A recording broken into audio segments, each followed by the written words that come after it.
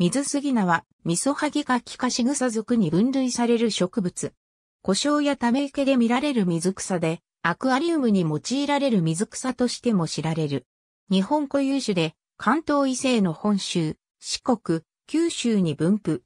生息地の減少に伴って、個体数は減少しており、環境省のレッドデータブックで絶滅危惧種に指定されている。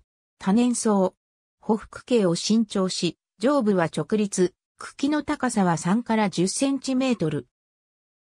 葉は線形葉で5から12輪生し、長さは2から3センチメートル。水面まで茎を伸ばし、水上に茎が出た場合は、水中とは異なった形態の葉をつける。花は白色で水上に伸びた茎の溶液につく。また水中で閉鎖毛をつけ、無償的に繁殖する可能性も示唆されている。アクアリウムにおいて水槽で栽培されることがある。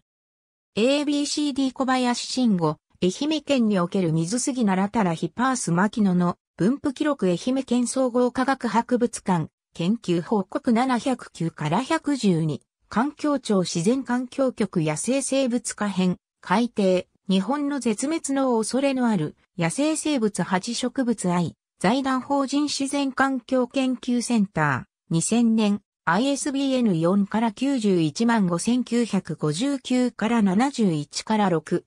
ABC、愛知県イカンタバ植物レッドリスト PE47、角野安夫、日本水槽図鑑部一総合出版、1994年。P120。ありがとうございます。